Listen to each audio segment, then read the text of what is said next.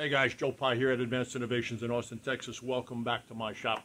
Before I get to the subject matter of this particular video, I want to give a shout out to an organization up in Indiana that is picking up on a annual show that used to be the NAMES show, the North American Model Engineering Society. For some reason, I didn't do the research on it, but for some reason for 2024, they've decided not to come back.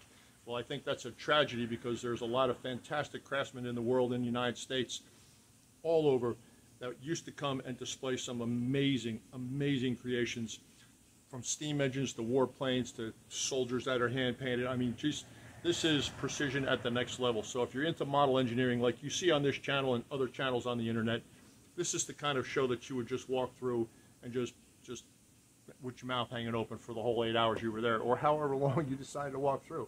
Anyway, this year it's being called the Indiana Engine Show and I got a couple of these guys right here that I will give you close-ups on so you can see the website, uh, you can see the internet links, you can see the QR codes, the dates and such.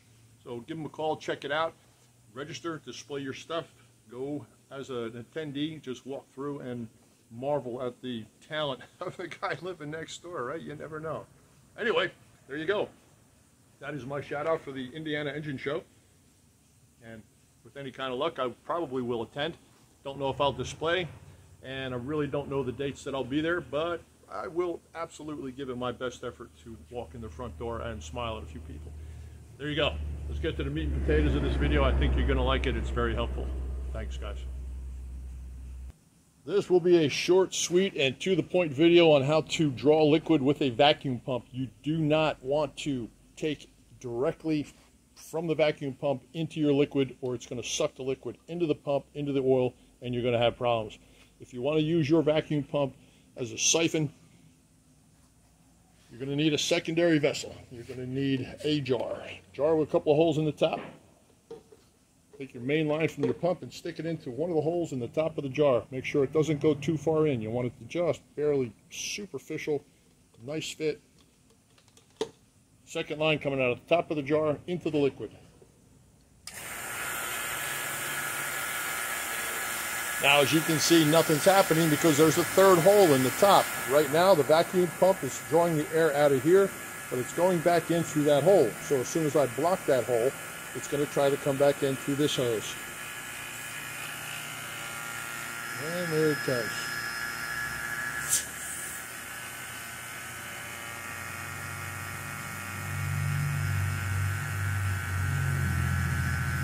And you can regulate the speed with which it's coming back into the contained vessel by just jogging your finger on or off of that hole.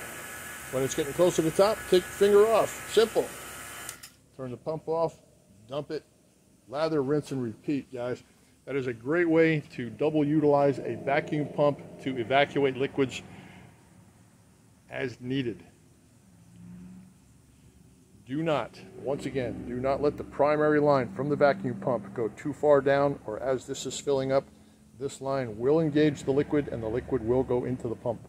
Don't let that happen. Vacuum pumps are for air, not for liquid. This is also the kind of pump that you would use if you wanted to make a vacuum plate fixture for machining thin or delicate parts.